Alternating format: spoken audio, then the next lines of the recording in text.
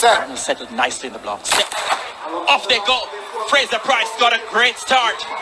Thompson, Williams and company have begun their bout of chasing. Shelly Ann Fraser Pryce on top. Elaine Thompson comes forward.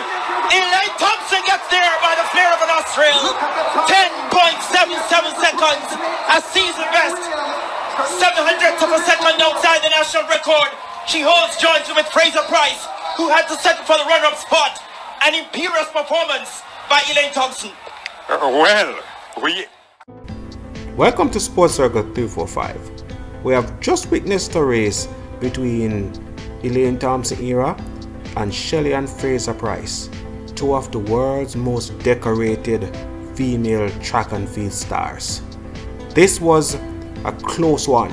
It was won by the flare of a nostril, according to the commentator who was commentating the race.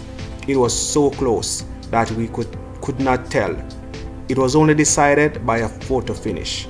Shelly Ann Fraser Pryce and Elaine Thompson continues to show the world what track and field is all about, what the 100 meters entails. 2023, I hope this battle will continue. Shelly Ann Fraser Pryce at the moment has the edge because she has done a lot of 1060s in 2022. Elaine Thompson on the other hand is on the low at the moment she had some injury worries. But come 2023, we hope that she can get back to winning ways. But this race, however, was one of the closest I've ever seen. Continue to tune into Sports Circle 345 where we'll bring you action on and off the track. Peace out.